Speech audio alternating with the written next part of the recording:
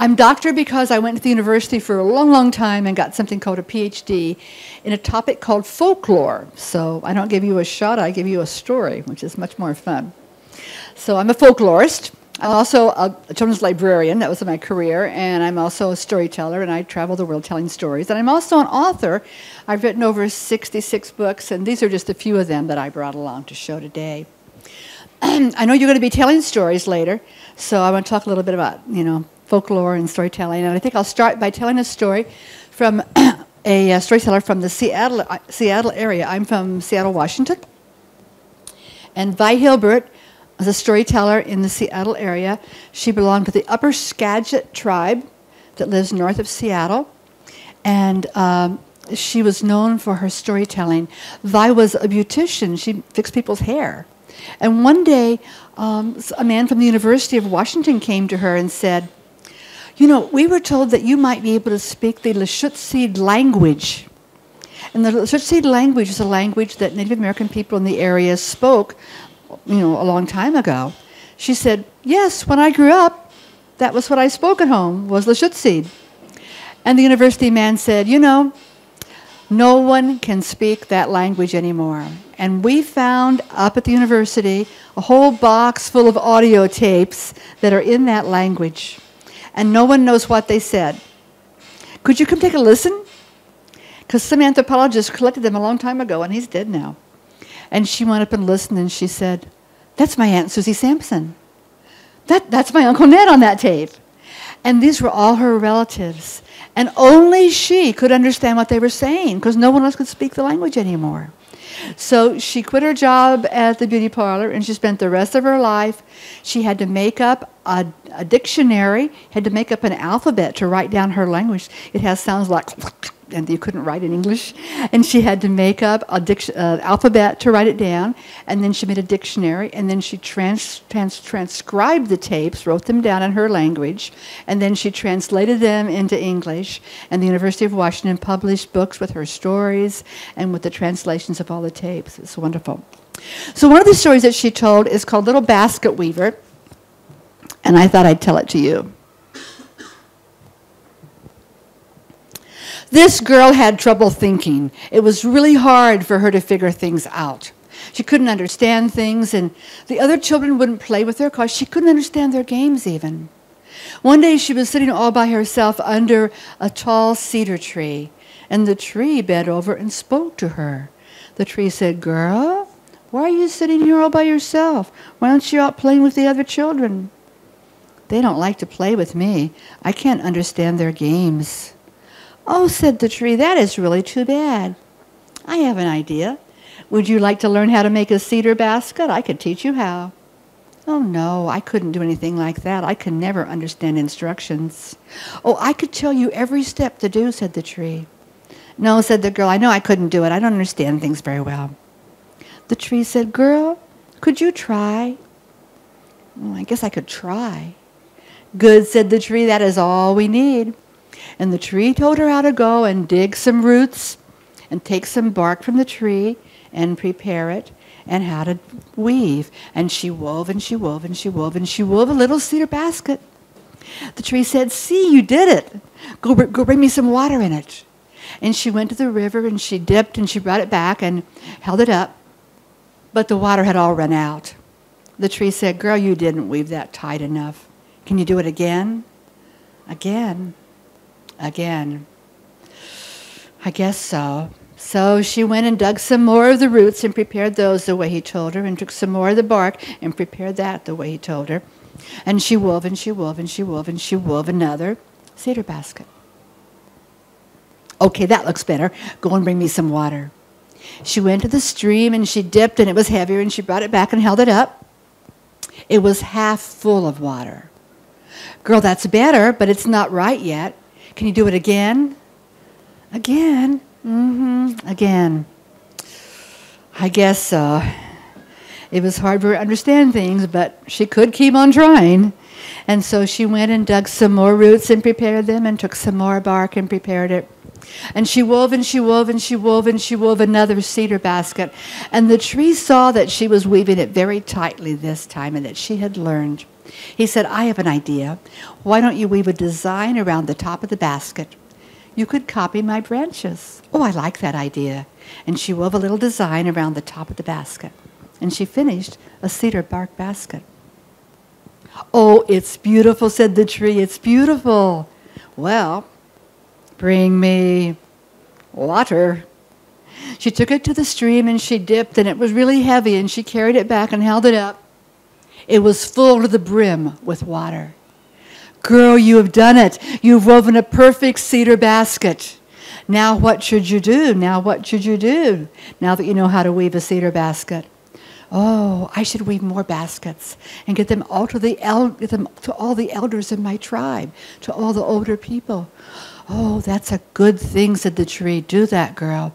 But think carefully. Is there anything else you should do now that you know how to weave a cedar basket?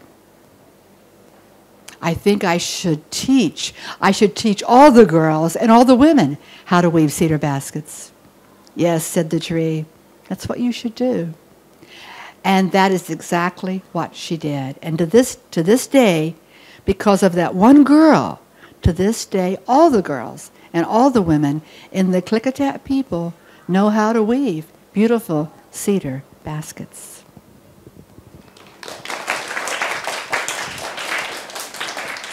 And if you go to the Seattle area in the museums, you'll see these beautiful baskets woven out of cedar bark and cedar roots that, that the women make there.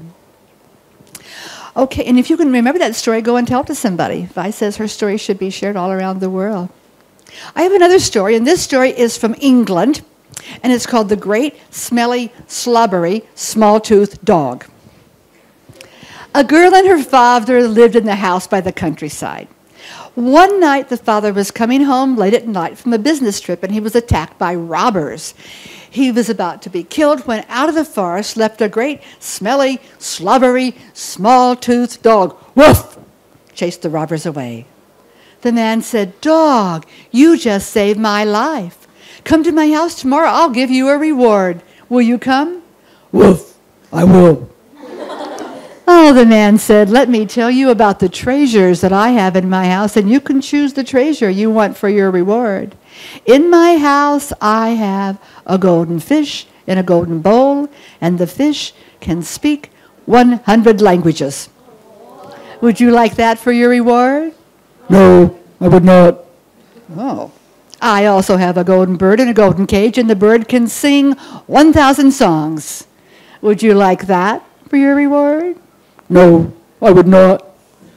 Oh, I also have a golden goose. It lays one egg a day, solid gold. I bet you'd like that for your reward. No, I would not.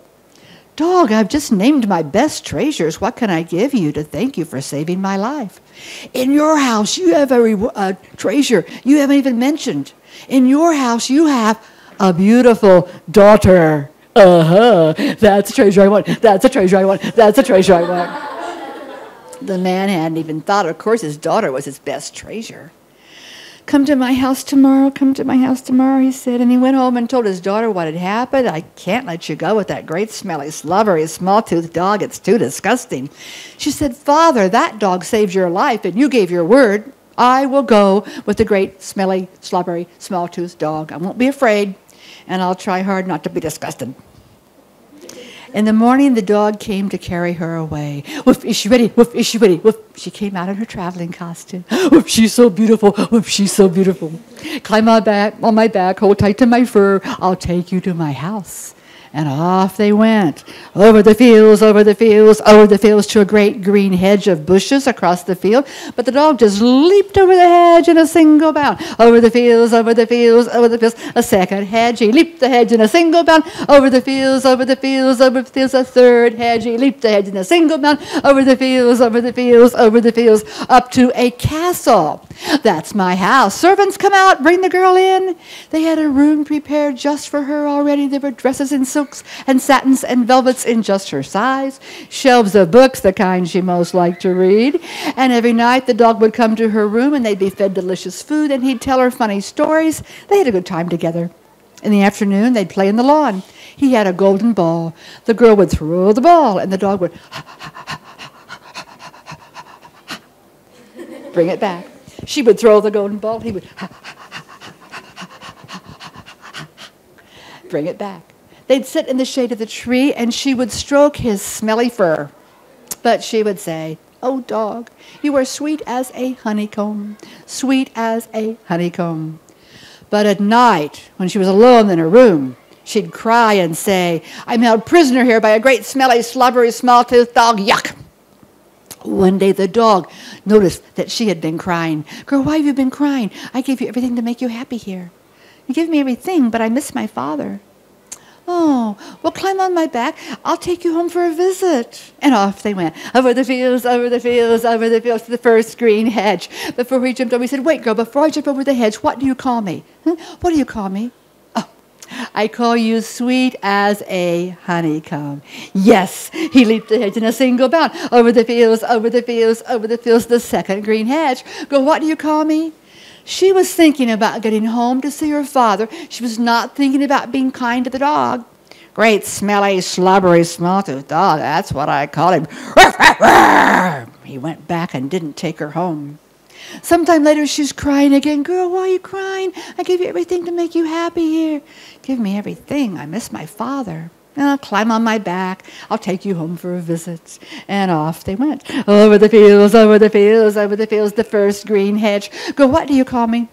I call you sweet as a honeycomb. Yes! He leaped ahead in a single bound. Over the fields, over the fields, over the fields, the second green hedge. Girl, what do you call me? I call you sweet as a honeycomb. Yes! He leaped ahead in a single bound. Over the fields, over the fields, over the fields, the third green hedge. Girl, what do you always call me? She could see her house in the distance. She was thinking about getting home and seeing her father. She wasn't thinking about being kind to the dog anymore. Great, smelly, slobbery, small-toothed, roar! Sometime later, she was crying again. Girl, why are you always? Is it your father again? Climb on my back. I'll take you home for a visit. And off they went. Over the fields, over the fields, over the fields, the first green hedge. Girl, what do you call me? She vowed to say only kind things this time, so she said, sweet as a honeycomb. Yes. He leaped the hedge in a single bound. Over the fields, over the fields, over the fields, the second green hedge. Girl, what do you call me? Sweet as a honey. Yes, he leaped the hedge in a single bound over the fields, over the fields, over the fields. The third green hedge. Girl, why do you call me? She remembered. She said it. Sweet as a honeycomb. Yes, he leaped the hedge in a single bound over the fields, over the fields, over the fields, up to her house. She had her hand on the door to go in. Girl, one more time, one more time. What do you call me? What do you call me? One. She had her hand on the door to go in. She was not thinking about being kind to that dog. Great, smelly. She looked down and saw the look of pain in that dog's eyes. Oh, dog, I'm sorry. Oh, dog, I'm so sorry. I call you sweet as a honeycomb, sweeter than a honeycomb. When the dog heard those kind words and saw the look of love in that girl's eyes, he leaped to his feet, ripped off his fur, and became a handsome prince with the smallest teeth you ever did see. So the girl and the prince were married and lived in his castle in the countryside.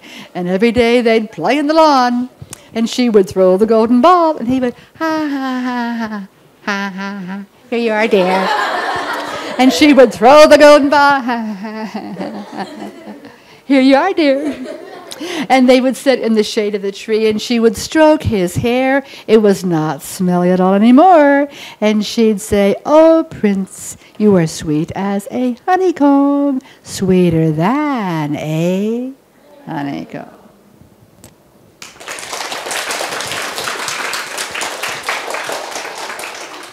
Now, I found the story in a collection by Kate Briggs of British folk tales. It was called The Great Foul Small-Toothed Dog. I don't use the word foul, so I called it The Great Smelly Small-Toothed Dog. And I was telling stories at the International School in Rotterdam in Holland. I was staying with the librarian, and one day I was having tea with the librarian's wife. And they had a big dog named Ben, about this big. Ben was sleeping by the stove, and suddenly I heard Ben stand up and shake his head. He was behind me. And Linda, the librarian's wife, screamed, Don't move and don't look! Because when Ben shook his head, he had a slobber stream like this long hanging from his jowl. He shook his head and it broke loose and went flying. And landed on my sweater. She said, Don't move and don't look and grabbed a paper towel and mopped me up. I said, Oh, I just had a brainstorm. I think my new book should be called The Great Smelly Slobbery Small Tooth Dog. Can you all say that? Smelly, slobbery, small tooth. Try it. Smelly, slobbery, try it. Smelly, slobbery, small tooth. Smelly, slobbery, small tooth. Smelly, slobbery, small tooth. It makes you, it makes you slobber to even say it, doesn't it? Does anyone know what it is, what it's called when you have a poetic device where it sounds the same at the beginning of the word? Tongue twister, there's a, there's, a, there's a really lovely poetic word for it. Have you learned it yet? Alliteration. Can you all say alliteration? Alliteration. And I love to put those in my stories because then when any parent that reads it or anyone reads it out loud, they have to go smelly, slubbery, small tooth, and it sounds really cool. You know those S's? Smelly, slubbery, small tooth. Sounds cool. So I emailed the, the illustrator. I said, Julie, Julie, can you put slobber in the pictures? Not, and she said, I can sure put slobber, not too late. And she added slobber to all the pictures. Julie Paschkis, who lives in Seattle, made the illustrations. That's her dog Lily, who she used for the model for this dog in the story. That's Julie and I at her house in Seattle. I usually don't get to, to meet my illustrators, but Julie lives right there, so I got to go to her house when she's running the book. And Julie knew that in England, flowers have meaning. So on the end papers of the book, she drew flowers and what they mean. And it's really amazing. You could look on every page in the book and you'll see the flower that has an emotional meaning of that page. So on the first page, he's attacked by robbers. The dog rescues him, and she drew thistles. And a thistle stands for danger and protection. Then the father went home, and he was feeling very miserable and she drew marigolds, and marigolds stand for despair. And the girl said, I'll be brave, I'll go. And she drew oak leaves. What oak leaves stand for? Bravery. So it's really fun to look at the book up close. Julie wanted it to look kind of like a medieval tapestry. So there's, and she's trying to think of how to show all this jumping over bushes. So there's one bush, two bushes, third bush. And then she wanted um, she tried to do it this way, over the fields and over the fields, and then look, it just continues. It's a tapestry continues. Over the fields, over the fields, over the fields, first bush, second bush. What do you call me, girl? Great smelly, whoa! Takes her back. Then she did a ribbon front and back. This is kind of interesting how she showed it. Over the fields, over the fields, over the fields. She's trying to think of interesting ways to show all that repetition. What do you call me, girl? Great smelly slobbery, whoa! Take her back home again. And then he saw her crying again, and then he took her all the way, all the way to the front door. And then she saw the look of pain in the dog's eyes. And Julie drew lilacs for the first emotion of love. What flower is going to be on the next page? A rose. Ta-da! Now, I don't like the way she drew the prince. I think he was really a dog and pulled his fur off. And she's got like a silly dog costume on his back. That's really dorky. I don't like that. But you know, she's the illustrator, so she can do what she wants, and I'm the author, so I can write what I want. We just have to kind of agree a little bit. And there's the last page.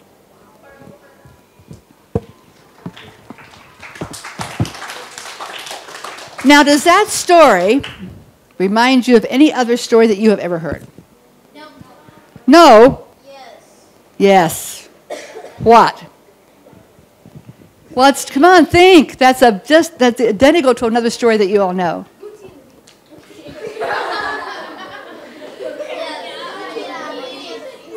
It's the exact same plot to another story that you've all seen a movie, a Walt Disney movie of, and that you all know. Beauty and the Beast. In France, it's the father promises his daughter to a beast. She's taken to a castle, learns to love the beast. He becomes handsome prince. Across the English Channel in England, it's a smelly dog. It's the exact same story. Folk tales travel around the world and they change a little bit each time they move. They can be this way, that way. And folk tales, oh, how, do, how, how do you define a folk tale? What's a folk tale? Who knows what a folk tale is? What's a folk tale? Folktale is a story that tells a, folk tales can tell lessons, but not all folk tales tell lessons at all. hmm What else? Is how do you define a folk tale? Yeah. Folktales are passed from generations to generations. He has the one and only definition of folktale. It's passed from generation to generation to generation. It might be a fantasy, it could even be true, and it might have a moral, it might not, but it is a story, a narrative that's passed from person to person. The oldest stories we know are 4,000 years old. They were written down on cuneiform clay tablets in Sumerian Babylonia, and those clay tablets still exist.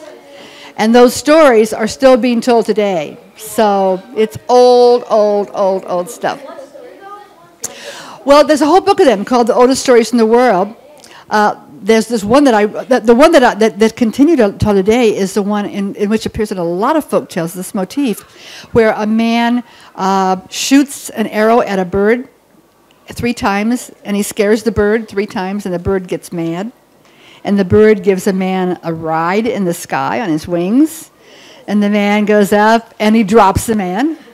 And then he catches him. He says, That's the way I felt the first time you shot an arrow at me. And then he goes up and he drops him and he says, That's the way I felt the second time. And again, and that's the way I felt the third time. Did you learn your lesson? And, and when he goes up, each time he asks the man, What do you see? And the man says, Wow, you know, that, that lake looks like a, like a pond now you know? And he says, oh, okay. He drops him. He goes higher. What's what, do you, what do you see now? Oh, the lake looks like, a, you know, just a bowl of water. And then the next time, what's like? The lake looks like a teacup. You know, he's, he was getting higher and higher and higher, which makes you wonder how they knew that in the days before airplanes. What would look like from above? But anyway, yeah, so, yeah.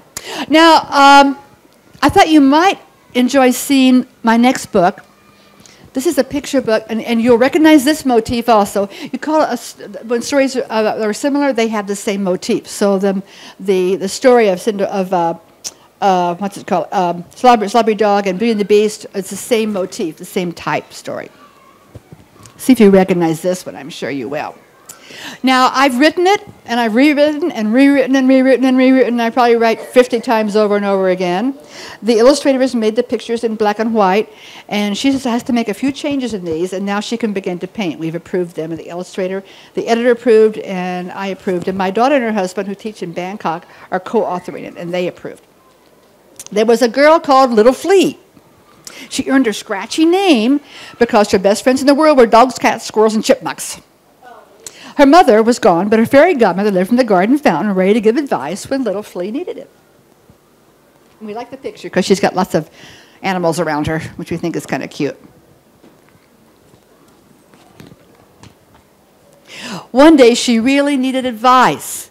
Her father told her, Little Flea, it's time to get married. Me, little flea, married? No! She ran to the garden fountain. Godmother, godmother, please appear. Little flea is in trouble. I need you here. Voila! That's the French part. Can you say voila? Voila! Voila! Try that. Voila! There was the fairy godmother. Oh, little flea, of course you don't have to get married unless you want to. Tell your father you will not marry until he finds you a dress that is the color of the sun, the color of the moon, and the color of the stars. That should slow him down. It's just a trick, right? Bad luck for little flea. Her father was friends with a wizard. And voila! There was the dress with the shoes to match. Fairy godmother, what should I do? Oh dear, okay, uh, let's try this, said Fairy Godmother. Tell your father he must find you a magic carriage that moves when you shout, Off we go! But more bad luck for little Flea. The wizard could do that too. Voila, voila! There was the carriage. Oh, Fairy Godmother, what should I do? Time to try something else, said her Fairy Godmother. Hop into the, your carriage and call, Off we go! Just see where the carriage takes you. So little Flea climbed into the magic carriage and called. You ready? Off we go.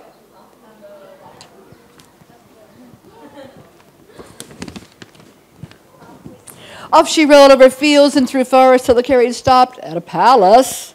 There was her fairy godmother waiting. It's all arranged. I got you a job at the palace. Me, little flea, a job? No! A little work never hurt anyone. All you have to do is sweep and mop and take care of the dogs and cats. You'll like that part at least. Just do as I say, and who knows what might happen. Her godmother always gave good advice, so little flea grumpily grabbed the mop and set to work.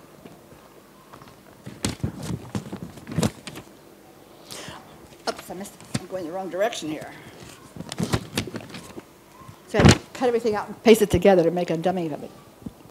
Life in the palace was hard. The dogs and cats were fine, but there was a sussy prince who teased her all the time. Oh, little flea, don't give fleas to my dogs and cats. She would just sweep dirt in his face and stomp off. What a feisty little flea you are, sassed the prince. One day, the prince bragged, I'm going to a dance at my cousin's palace tonight. Too bad little fleas can't come. Godmother, godmother, please appear. Little flea is in trouble. I need you here. Voila, there was her fairy godmother. How are things going at the palace, little flea? Having a good time? Definitely not, but I do want to go to the dance. So her godmother brought out the beautiful dress and the magic carriage. Little flea hopped in and shouted, Off we go! Be sure to come back before midnight, called her fairy godmother. You got the story motif now? When little Flea arrived at the ball, the prince looked up and voila! In walked the most beautiful girl he had ever seen. She was sparkling, she was radiant, she was the belle of the ball. Everyone wanted to dance with her, the prince most of all. What's your name? I won't say. Will you dance? Well, okay. The prince pulled little Flea onto the dance floor. They began to whirl and twirl, and her head spun. The little flea kept her wits about her. At a quarter to twelve, she ran for her carriage. Wait, shouted the prince, let me see you home. Little flea just called, Off we go! And away she rolled. Next morning, the prince was in a daze. I saw the most beautiful girl at the dance last night. I think I'm in love. Is that so? sneered Little Flea, shaking dust in his face. How nice for you. What's her name? He didn't even know her name. Next evening, another ball. What's your name? I won't say. Will you dance? Well, okay. This time they whirled and twirled and walked and talked and could have talked all night until. Until you know what, right? Almost midnight. Little Flea turned to leave, but the prince held tight to her hand. Please let me see you home. He had one foot in the carriage when Little Flea called, Off we go! Away sped the carriage, and the poor prince was left on his backside in the mud. My, my, said Little Flea next day. How did your coat get so muddy? I thought you were going to the ball. Never mind, huffed the prince.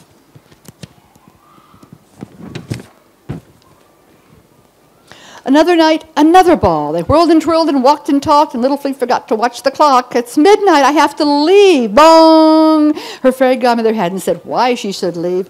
Now Little Flea found out. Just as she ran for her carriage, her dress began turning to rags. And here came the prince. Wait for me! Thinking quickly, she tossed back her shoe. Prince, I lost my shoe. Can you get it? Of course. And he turned for the shoe. Little Flea laughed. Off we go!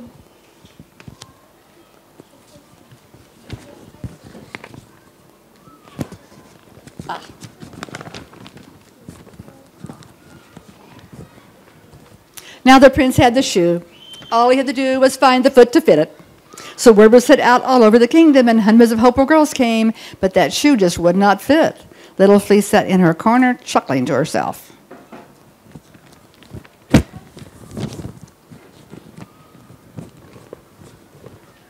When all the girls had gone, Little Flea walked up.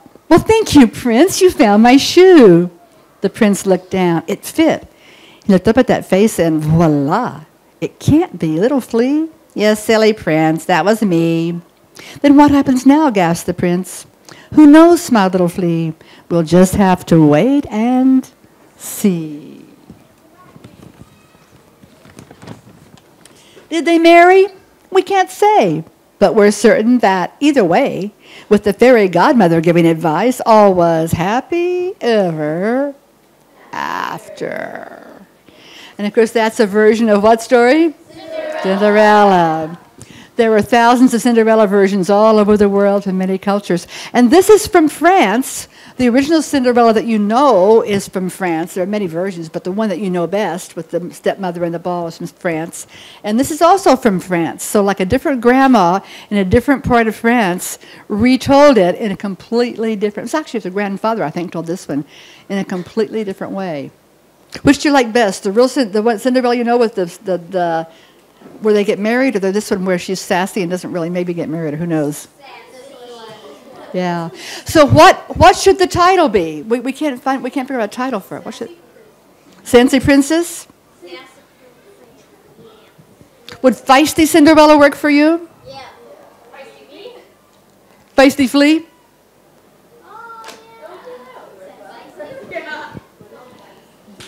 Someone someone at the school yesterday said Flea Flinderella. Getting the, it's really the hardest thing to get is, is the title to get to get the title right. Well, I know you're going to be telling stories, so I'm going to teach you a story right now that you can tell.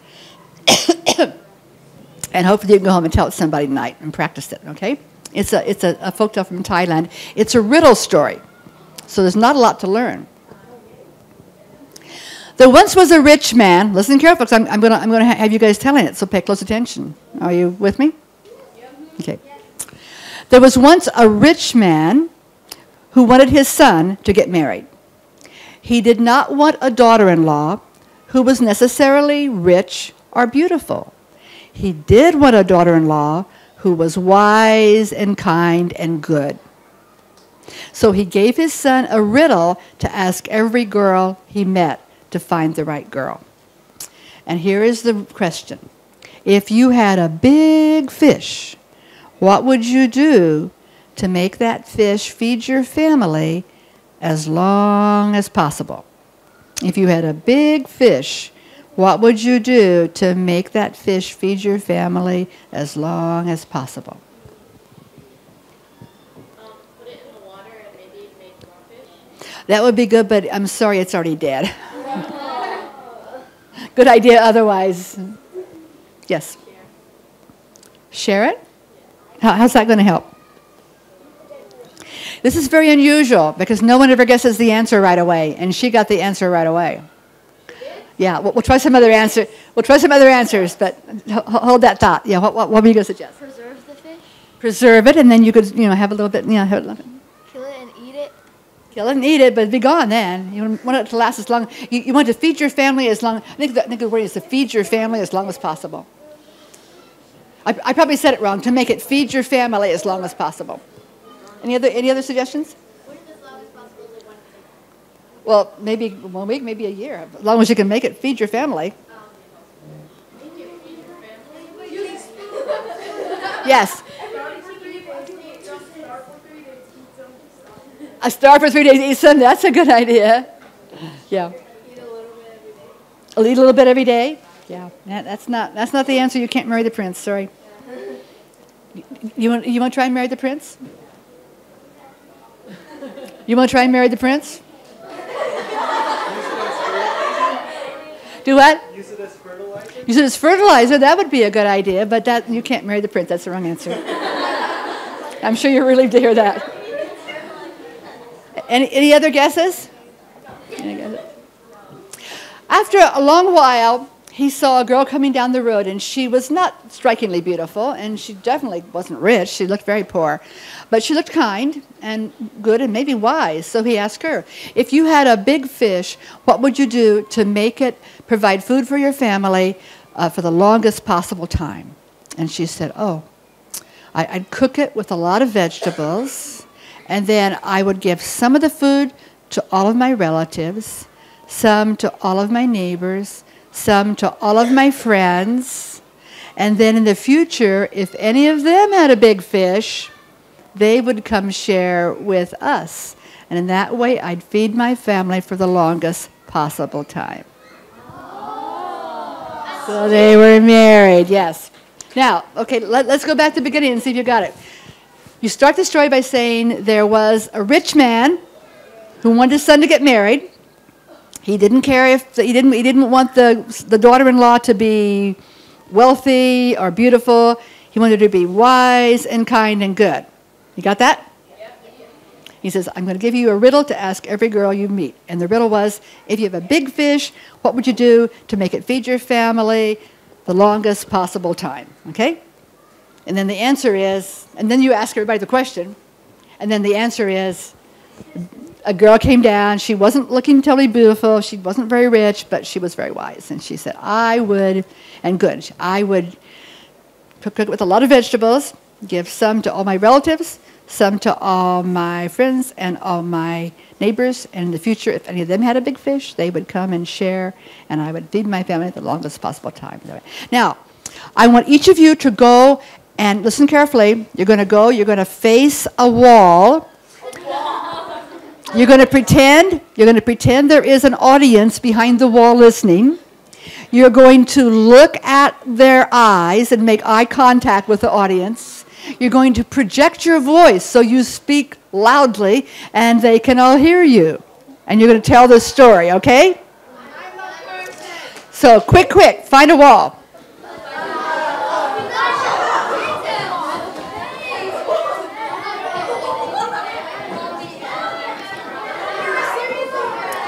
Okay, move move away from your friends so you got space. Put your arms out so you got space. You can you can not the floor. Oops, whoops. Can I talk to the floor? No, because you're, someone will be in, in your, uh, your your line of vision. Find a wall. Find a wall. Find a wall. There's there's walls here. That's good. You're, you're good. You got a wall. Okay. Okay. Stand. You need to be standing. Standing so you can use your whole body. So you can use your whole body and make gestures if you want to. Okay, when I say go, you're going to start telling. Once there was a rich man. Get ready, get set, go.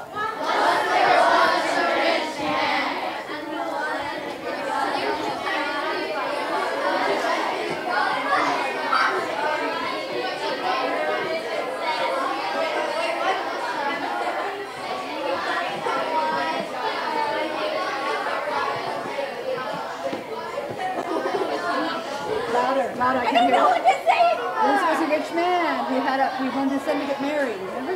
Also, the rich man wanted his son to get married. Let's hear it. Let's hear it. Let's hear the rich man was in the You can finish her if she was. She didn't care. She was rich or whatever.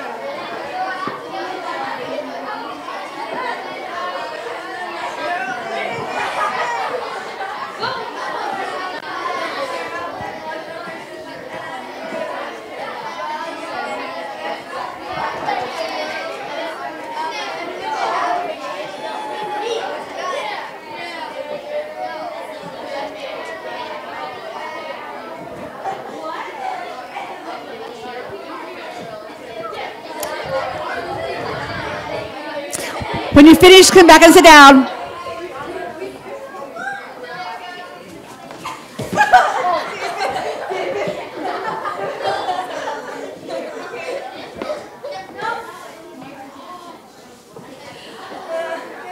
Okay. Who wants to demonstrate telling that story for us? I need, I need, I need someone to come and demonstrate telling the story for us. Okay, you, you can, you can come because you had the good, an- you, you had the right answer, so you can do it. You can go first. It was Maria. Yeah, it was Maria. It was Maria. It should be Maria. Yeah. Okay, Maria, come on, come on.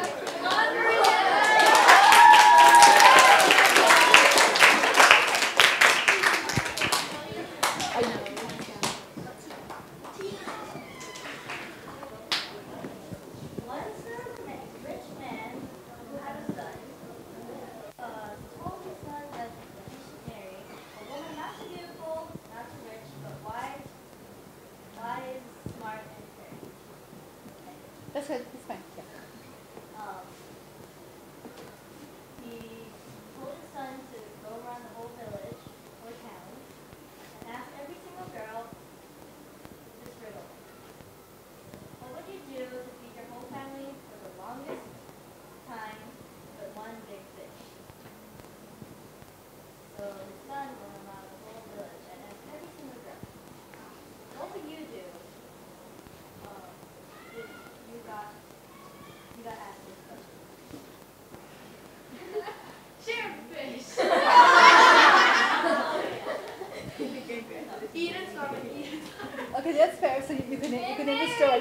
answer, you can understand it.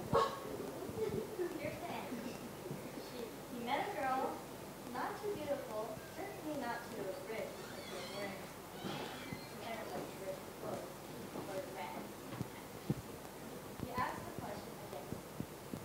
She answered, uh, I would cook fish with a lot of other stuff. Vegetables. Vegetable and other stuff. Um, and give it, and give it to neighbors, her relatives, and her friends. So next time when they catch a big fish, she would get something in return. Excellent. Good job. Thank you. So that's your story, and you all know the story now. So what, tonight, go home and, and, and you can practice telling the story to your family. And let them try to guess. You know, let them have lots of guesses before you tell them the answer, because people don't usually get the answer. So take your time. And, and when you tell the story, you're going to look at them and make eye contact, and you're going to speak distinctly and loudly so they can understand you. And that's your first storytelling experience. And later on, you're going to be learning, I think, many stories to tell or something, and having a lot more work on it. Okay.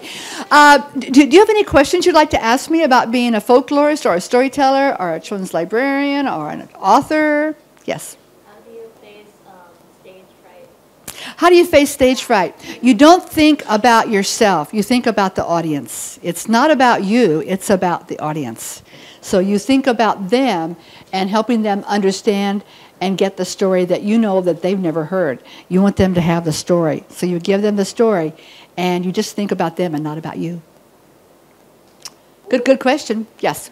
What did you need to do to get your PhD in folklore? Oh, it was really a lot of fun. I went to Indiana University, and you take a lot of classes, and I studied folk music of Latin America, and I studied Asian folk tales and African folk tales, and just lots and lots of fun, of fun classes. But then you have to do something called a, a dissertation, which is supposed to be uh, studying one thing in depth.